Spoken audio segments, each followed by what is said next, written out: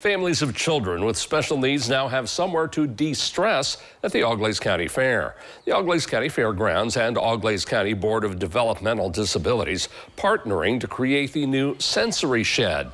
The air-conditioned room provides a quiet, relaxing space where any kid can unwind with activities like a sequin drawing wall, Play-Doh, and touch or sound-based sensory toys. There are also flyers inside with tips on working with special needs children and information on local resources.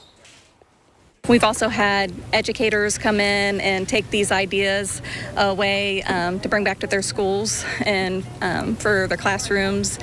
Um, we've had families that um, have also been in our program that have came in and it was a safe place for their child to calm down.